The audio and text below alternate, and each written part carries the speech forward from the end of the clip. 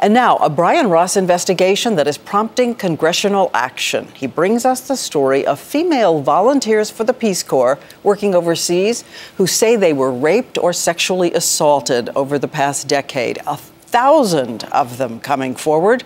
And Brian Ross is here now. I am staggered by that number, Brian. A thousand? That's right. That is the number our investigation found. More than 1,000 volunteers raped or sexually assaulted over the last decade something the Peace Corps has worked hard to keep quiet. At the age of 23, Jess Smochek joined the Peace Corps out of a sense of idealism.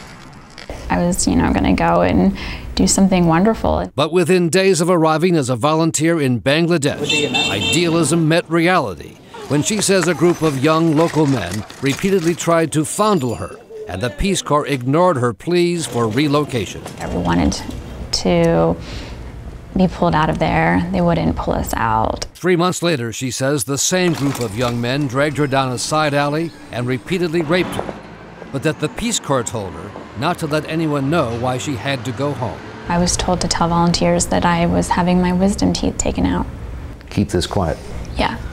Current Peace Corps officials maintain such incidents are rare and not covered up. 98% of all volunteers say they feel safe or extremely safe with Peace Corps.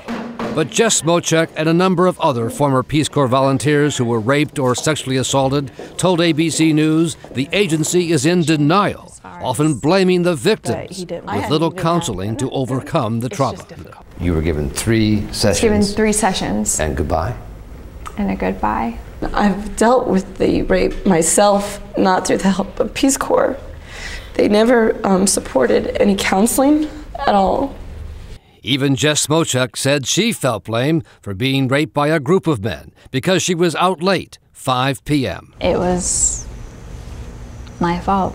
Now, members of Congress say, based on these women's accounts, the Peace Corps has a lot to answer for. Why has this been going on for so many years?